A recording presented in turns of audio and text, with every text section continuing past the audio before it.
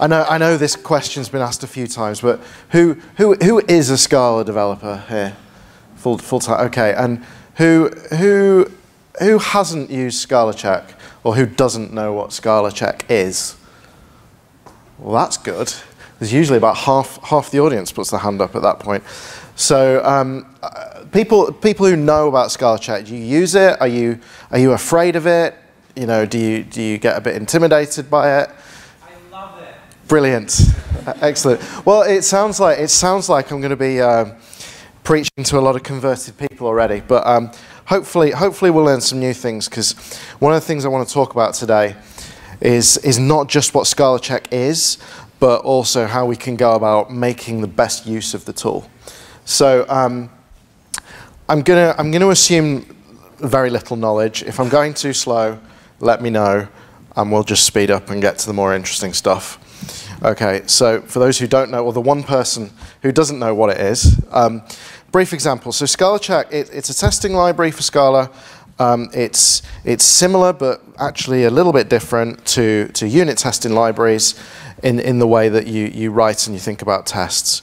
So the, the heart of the, uh, of the library is this method here called for all. Okay, and what we can do with this is we can pass in a type parameter and then we can have some code and this code usually ends up with a predicate or what we call a prop or a property. And then what's going to happen is we want to test that this property holds for all of the type that came in. So if for some reason we wanted to write our own tests for strings um, and the, the length uh, method in particular, this is, this is a property that needs to hold. I mean, this is quite clearly not the most comprehensive test ever written, um, but this is something that should always be true. No matter what string we look at, if the length is ever negative, like, it just doesn't make sense, like something's gone wrong. Okay, so we, we can call check on this prop, Scala check then run, runs our property with at least 100 um, different strings, and then hopefully these will all pass um, and we're all good to go. Okay? And also this just works straight out of the box with SBT. So while, I've, while I'm on the REPL here and I've called dot .check, actually if we just put these properties in a file and call SBT test, um, the test works as well. And if, if some of the properties don't hold, then the build halts. Okay? So what ScalaCheck is, okay, I like to think of it as a bridge between types and values. Really, what we want to use ScalaCheck for is we want to make sure things are invariant that for some reason we can't really encapsulate in the type system. So kind of a, a nice example I think of this is like if you imagine, say, the Boolean type, like you, you wouldn't write tests that made sure it either returned true or false. Like the Boolean type is constrained to only return two values. And what might happen is, say, say like if we go back to that length uh, property we saw a minute ago, is that actually the type that length returns is not actually right. Like it's returning an integer, but actually what we want is some kind of non-negative number. Uh, out of the box, Java and Scala don't give us that. So we want to make sure that the, the values that the type produces are actually constrained to be within a certain set of values. Now, of course, if we just used, uh, if we had a length function with an unsigned integer type, which do exist, then we wouldn't need a property that said make sure it's always greater than or equal to zero because it physically can't be anything else.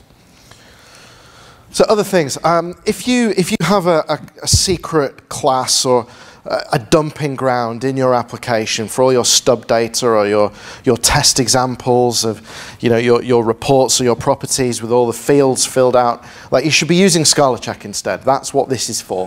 We'll take a look at some now. And the, these, are, these are generally useful enough to, to get started with.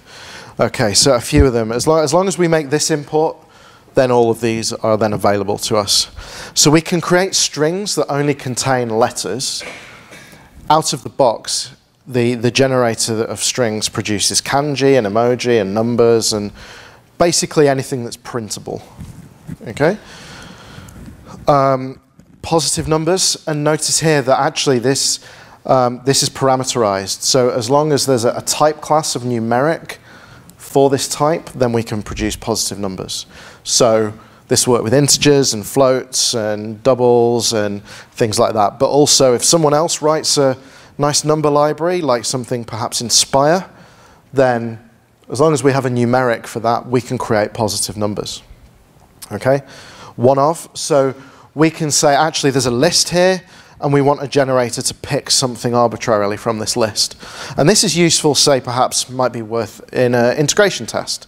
So you could do some setup before the test to maybe go to a database, pull a load of records out, and then your one of will then take one of those queried records. And then maybe you're working with real data and that might be a bit more valuable to you. you have list of, so we can give a list of generators and then from that list it will produce a generator of lists. And there's list of n, so we can say produce lists, but they need to be of a certain length. And there's one other that's in a different class, and that is arbitrary. And we'll look at this a bit later on, and why, why this is useful. Okay? So if we've got some generators, we, we can pop onto the REPL and have a quick look at how they work. They come with a sample method, and these produce options of the values. So for if for some reason the generator cannot produce a value, it will produce none. So you know if the, the random pool is exhausted or, or something similar. Like I said, gen is a monad, so we can really use this with for comprehensions. So we can create a brand new generator from ones that already exist. Um, so we can pick a, um, an uppercase letter, and then we can have a list of lowercase letters, and then we can create a generator that puts those together and some kind of generator for names perhaps where we'd always expect the first name to be capitalized. And because this is a generator we can just call sample and we'll get something like that. Okay? And the arbitrary type class. So what this does is all this does is this allows us to summon a generator arbitrarily. Okay? And here, here's, a, here's a brief example. So we have our own type here some kind of case class. And what we're going to do is we're going to use this alpha generator, and then we're going to map our, our, our generated value into the apply function that comes with the case class. And this gives us a generator of records. And then if we, if we mark this uh, arbitrary as implicit, and all we have to do is pass the generator in the into the constructor, we can then do things like this. So this for all now with no parameters can produce records.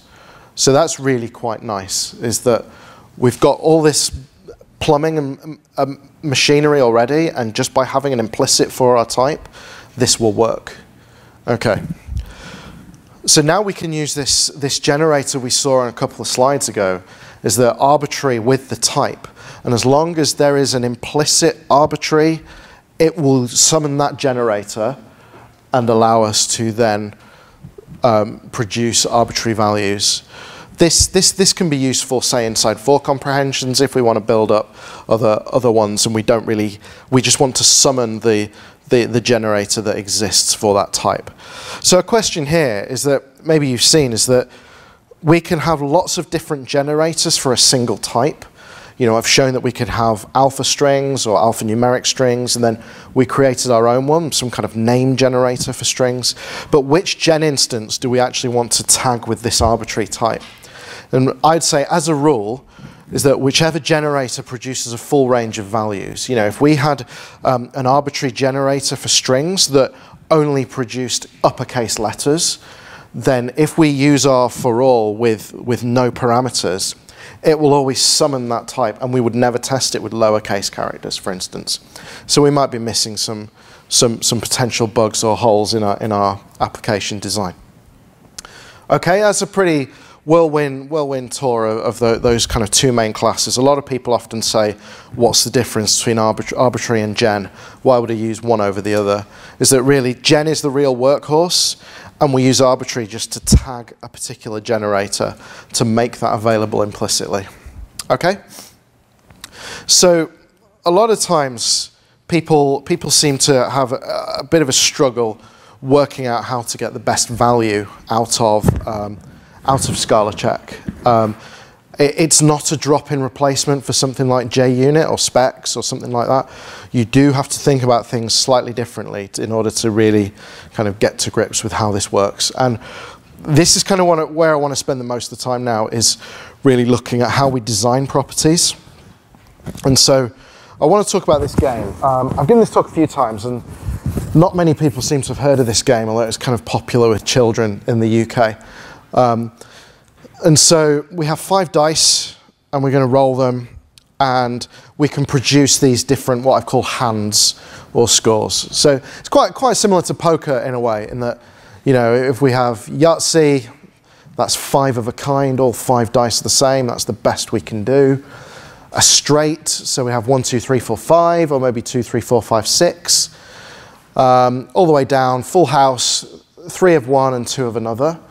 Um, and, the, and the ordering here, it basically, the higher up, the, the, the better a hand is. So what, what we want to do is we want to have this function here. We want to implement that. Is that we want to say, given two hands, which one won? We want to write this winner function. Um, we're not actually going to write this winner function. We're going to look at how we would test it. Okay, so if you're not a ScalaCheck user or you're not that familiar, you could probably start to think about how you just use like write tests for this anyway. Like this is nothing unusual, I'd hope. You know, you could probably think of how, how you would uh, go about writing some tests for an implementation like this. So let's have a look at how we could do this with ScalaCheck.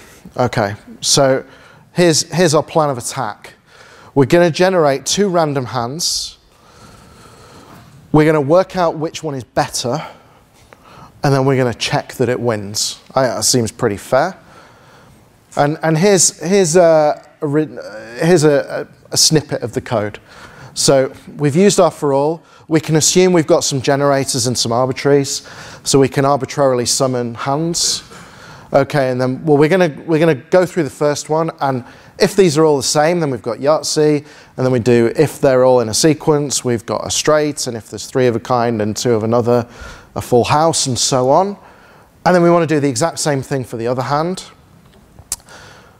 We then want to work out which one is better, and then we want to call our winner function and make sure that it, it actually won. Okay? Does that, does that make sense? What do, what do you think? Exactly, yeah. So this is where a lot of people get stuck with ScalaCheck, is that they actually just re-implement their application code inside the test. And that's exactly what we've done here. Uh, like this will work, I'm sure. You know, it'll be fine.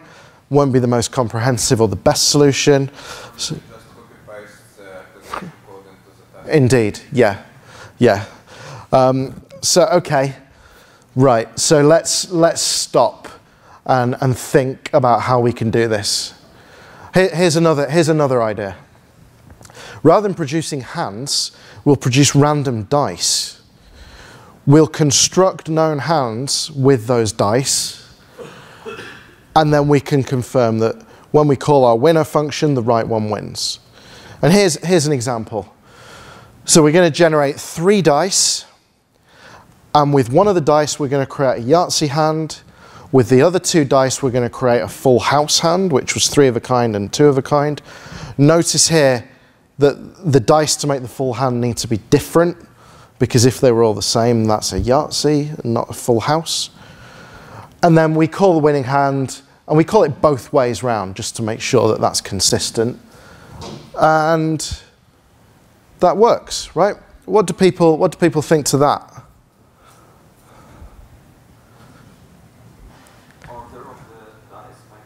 Okay, yeah, that's, that's fair. Um, there's something a bit more fundamental in that we're only testing one combination here. Like we're only testing that Yahtzee beats Full House. You know, we'd have to make sure that Full House beats three of a kind and four of a kind beats three of a kind and things like that. Okay, and there are other untested conditions. The different permutations of the position, like you said. So, you know, is if we look at the full house, you've got three A's and two B's. Would that be the same as two B's and three A's, or one B, three A's and the other B's, and things like that? You know, so those permutations are not are not considered here.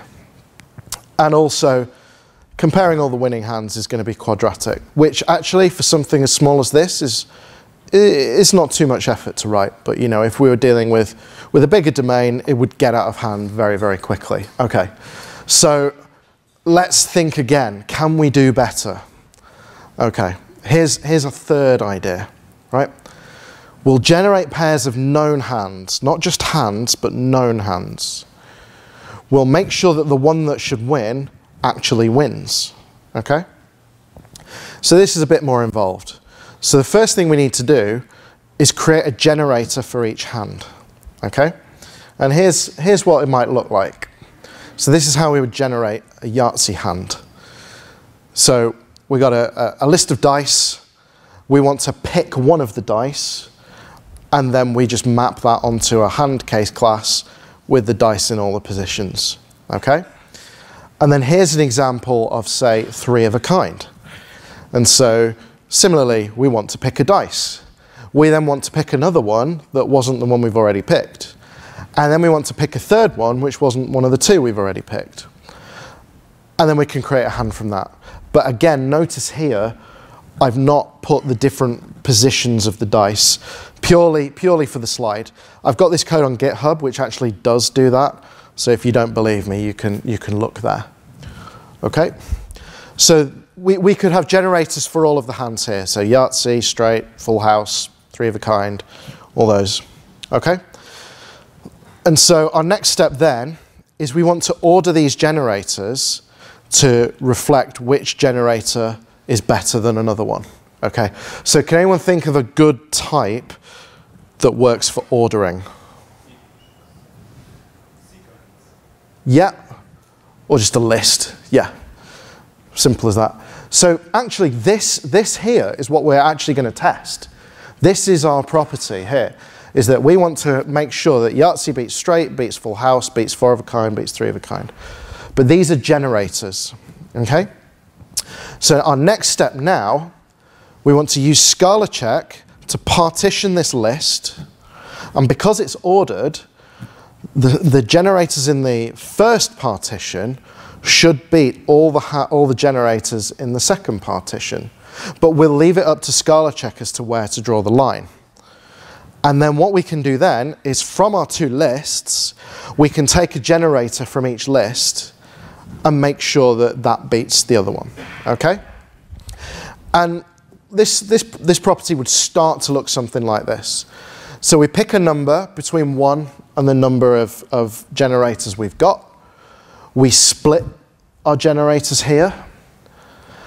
And then, one thing I do have to say is the code I'm writing now is not actually legitimate Scala check code due to the way the API works.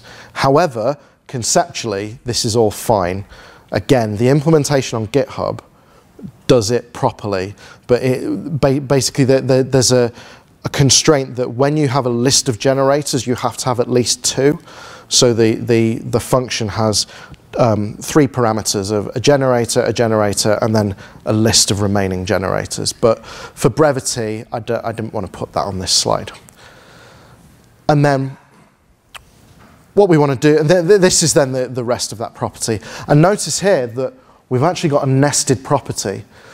So we've taken the, the first value from this property, and then we're using that to generate a new property.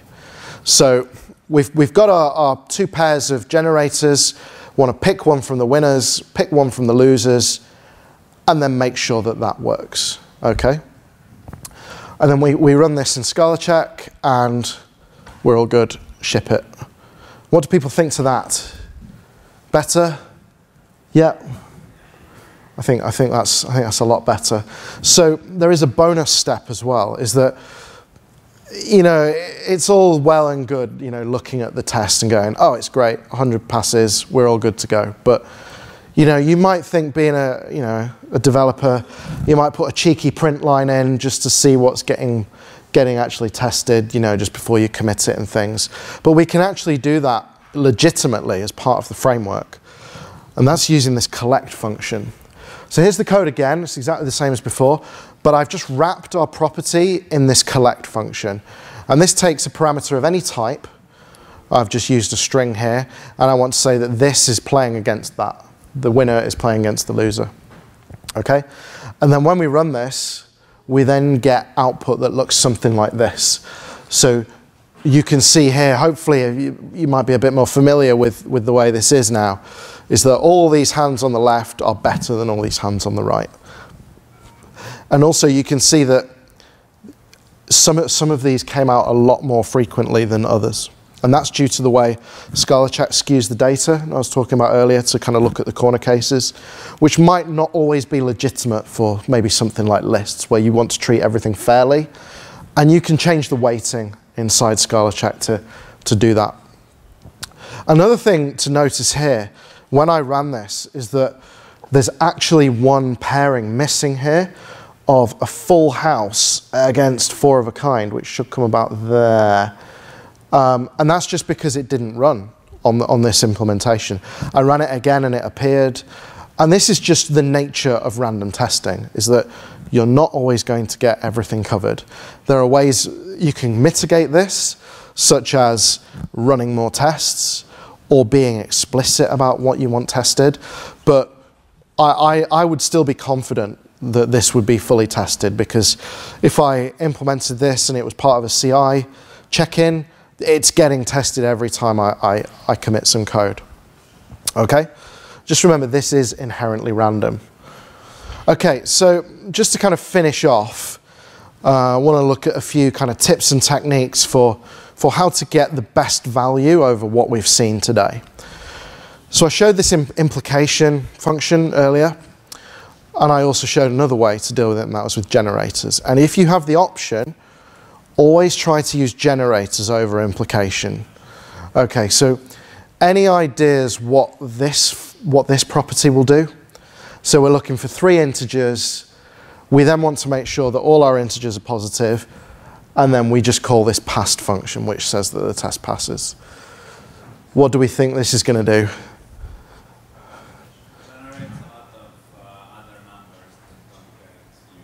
Yep, yep and it actually fails.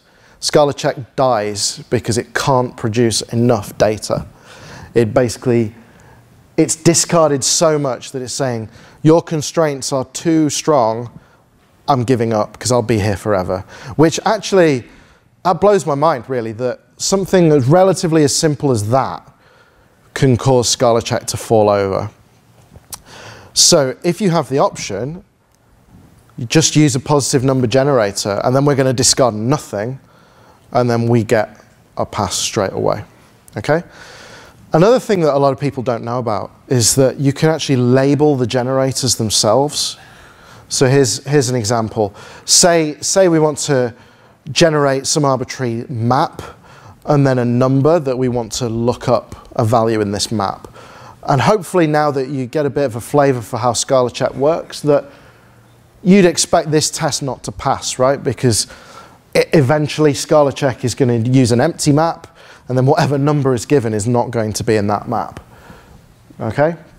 And that will look something like this. So it's trying to pull one out of an empty map, and clearly that is not defined. Okay, so what we can do instead is we can, we can label these generators just to make it a little bit clearer as to what they do. So this map is maybe some kind of lookup database, and then we want to look at a particular index in there. And obviously, again, this still fails, but notice here that this is just a little bit more friendly, which, you know, something starts failing six months after you've written it and you've got half a dozen maps and a couple of strings and all that kind of stuff, it's not always clear as to what these types are for. But really, you can just label them and, and make, them, make the most of them there. And as well as labeling generators, you can label properties as well, which is actually a much better idea than just putting in a cheeky print line throughout, throughout your tests. So for instance, say we wanted to test this property, uh, which I think is a fair one to hold, is that if we've got two numbers, the square of the bigger number should be bigger than the square of the smaller number. That's a property that should hold. And for some reason that doesn't work. But well, we've got, we've got to work out some stuff here, right? Is that these are the numbers that were passed in, but it would be nice if we knew what numbers we were actually working with when, when, we, when we did our, our, our property check.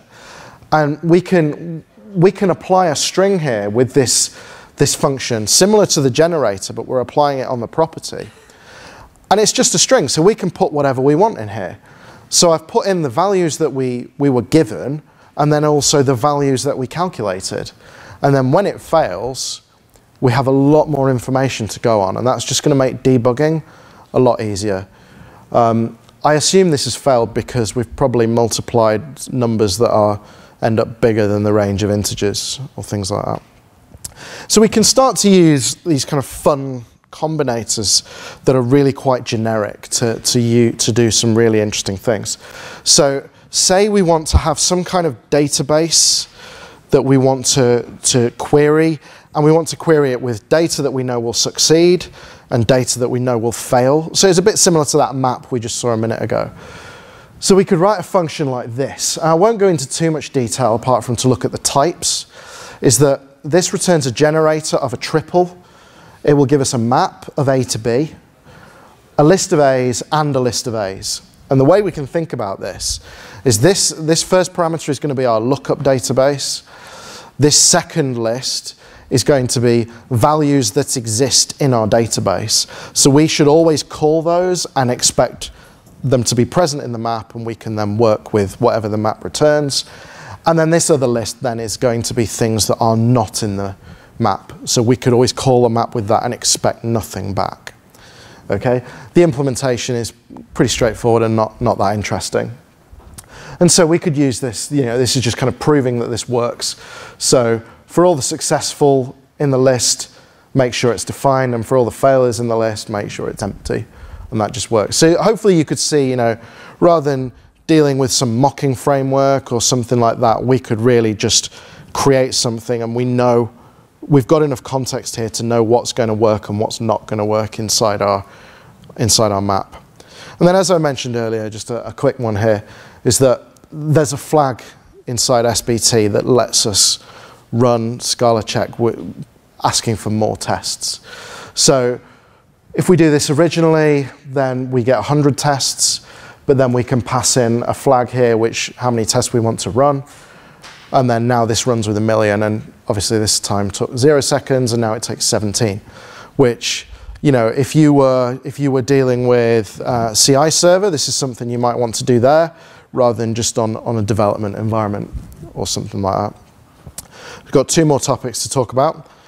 Last one, cogen. Um, so before Scala check 113, if we wanted to produce arbitrary functions, it often looked something like this. So we can summon the arbitrary for integers to strings, and then if we call it with an integer, we get some string back. And if we call it with another integer, in this example, we've got another string back. Okay, maybe we, maybe we were unlucky. So let's, let's do it again and we'll generate another random function. And the values are the same. And actually, if you look at the implementation, the arbitraries for functions actually ignore the input type and only return the same value. So it's kind of fake in a way, and it's not, not particularly useful. Um, however, that changed in Scala check 113. Yeah, so for, for our function, um, we didn't really care about the A, and as long as we had a, a generator for B's, we could generate these functions. But now we get different stuff happening. And so we generate this arbitrary function, and then when we call it with different values, we might get different responses. Of course, due to what we, due to the types or the, the, the actual function we got mapped, we might actually end up with the same value in, in some instances. Um, and I won't go into the details, but basically, if we want an arbitrary function from A to B, we need to have this cogen type for A and the generator type for B. For all of your kind of core Scala library functions, cogens are generally there. Um, in a nutshell, what it does is it um, there's a function on the cogen trait that um, basically permutes the, the random number generator with the input you gave it. So it's referentially transparent, so if you call F4 again, you'd get that same value. Okay? And then finally, this one thing to talk about is boilerplate reduction. And uh, a lot of the stuff we've actually seen today, we can completely remove from our code, uh, which is really quite useful using this library called Scala Check Shapeless. And um, there's a functionality inside Shapeless which um, lets you automatically derive type classes. Uh, and as long as we, we include the library, we kind of get this for free. And here's a full example. And look, I, I've, I've, launched, I've launched a console here, so there's no lying in what I've done. So create a case class with some types. I then do this single import, org.scalacheck.shapeless.underscore.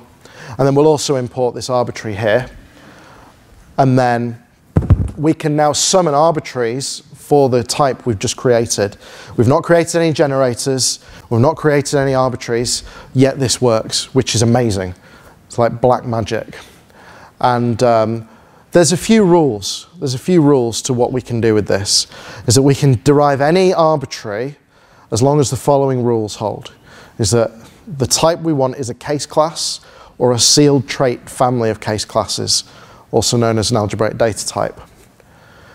We can summon an implicit arbitrary for all of the constituent types of the case class or the sealed trait hierarchy either through automatic derivation or otherwise. So in our example we saw here, we can derive arbitraries for integers and strings because ScalaCheck provides them. Okay?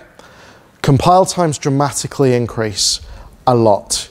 However, Miles has a fix that's going into Scala 212 something um, which actually removes all of the, the increase in, in compile time. So that makes this library a lot, lot more useful and friendly. And finally, one more thing I'd like to talk about, it's a bit, a bit of a plug, is um, a library we've been working on with 47 degrees, is that to create sensible date and time objects for use in ScalaCheck, because if we leave ScalaCheck to its own devices, if we try and produce dates and times, maybe just off the number of milliseconds, um, we might get times that are in prehistoric ages or far into the future, that they're really outside of any logical use for a domain. And so we want to maybe constrain within, within, the, uh, within, within a certain range. So we have this generator here, and we can say from a certain time, perhaps now, for a duration of seven days. So anywhere between now and seven days from now, we want to generate some times. And then you can see here that this small sample I've done now in this case was the 1st of uh, September.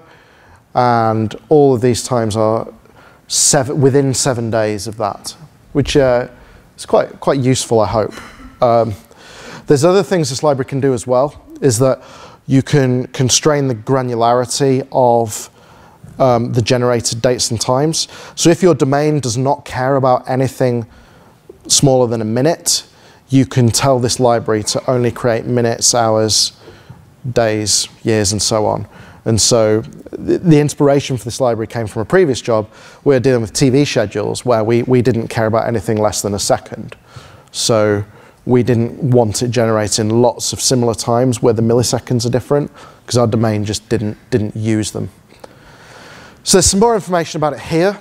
Um, and I'm planning, I'm planning to, to um, update this library very soon and maybe incorporate a few other things from this talk as well. Um, if people had any input to that, you know, please come and talk to me or feel free to raise an issue and I would uh, definitely look to incorporate that in a version one.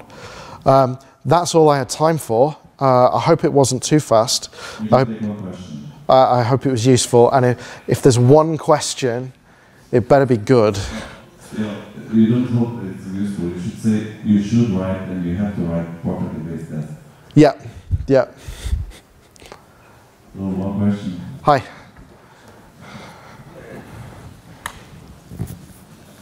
Only a very short statement. You shouldn't write property-based tests protests that use actual database? I, I wholeheartedly disagree with that statement. I wholeheartedly disagree with that statement. Well, I mean, it's, it's just a data source, right? So you got to be careful. But I've, um, I've, I've used ScalaCheck on a full-blown chat application. So that was taking a copy of data from production, pulling um, certain numbers of users into a, a small set, and then generating conversations between them which would all get persisted to a database, and then we could then query that and make sure that the conversation is as such. It's not straightforward, you know, when it comes to things like shrinking, is that as soon as a test fails, you're going to run your test a lot more to work out where the border is. And so if you're not careful, you, like for instance, you don't want to be dropping and rebuilding a, a database on every single test because that is going to be huge, even for just 100 tests. But say it failed on the 99th test, and then it takes another 200 iterations to work out the border, you know, that, that's not feasible. But as long as you're sensible, that you definitely, definitely can use ScalaCheck for integration testing, whether that's a database or a web service. It's just like all computer science and all development, you've just got to be aware of what you're doing and be very sensible about it. But it's definitely possible. Cool. Cool. You know, Thanks.